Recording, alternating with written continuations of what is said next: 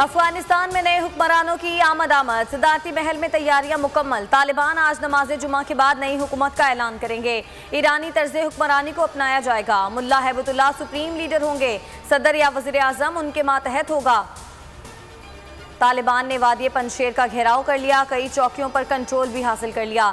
अहमद शाह मसूद का एक बार फिर हथियार न डालने का ऐलान। कहा, तालिबान पूरे मुल्क पर कब्जा जमाना चाहते हैं। अफ़गानिस्तान में नई हुकूमत की गूंज, पाकिस्तान आलमी तवज्जो का मरकज बन गया। गैर मुल्की वजरा खारजा का दौरा पाकिस्तान जारी। बरतानवी वजर खारजा डोमिनिक रॉब भी पाकिस्तान पहुँच गए। ब्रिटिश हाई कमीशन के स्टाफ ने इस्तकबाल किया। वजर अजम और आर्मी चीफ से मुलाकात करेंगे। वज़ीर खारजा से अफ़गानिस्तान की सूरत हाल पर तबादला ख्याल किया जाएगा। शाह महमूद कुरैशी से सल्वेनिया के हम मनसब का रबता। अफ़गानिस्तान की मौजूदा सूरत हाल पर तबादला ख्याल।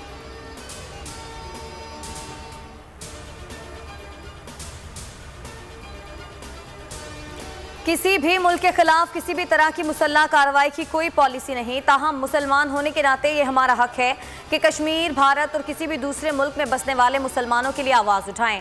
हम अपनी आवाज़ मुसलमानों के खिलाफ होने वाले मजालिम पर बुलंद करते रहेंगे। तर्जुमान तालिबान सुहेल शाहीन का बरतानवी नशरियाती इदारे को इंटरव्यू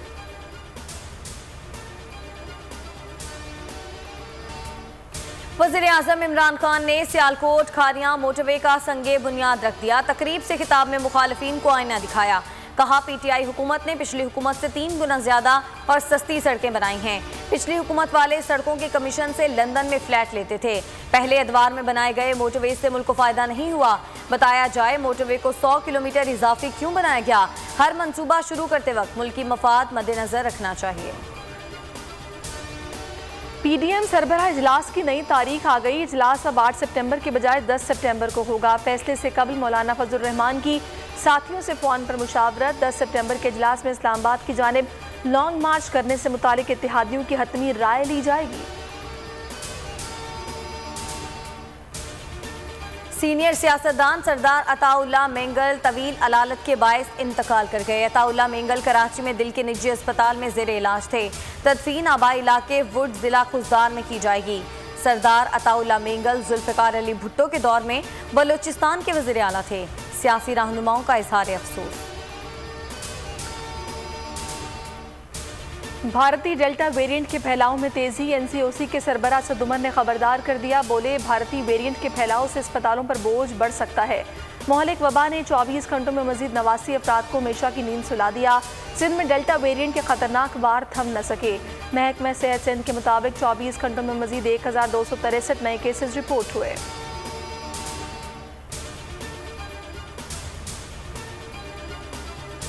और कप्तान बाबर आज़म ने रमीज राजा से मुलाकात की तस्दीक कर दी। कहा मुतव चेयरमैन पीसीबी से मुलाकात मुस्बत रही।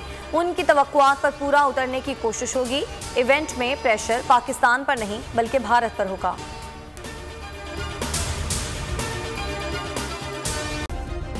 सब्सक्राइब करें और बेल दबाएँ ताकि कोई खबर रह न जाए।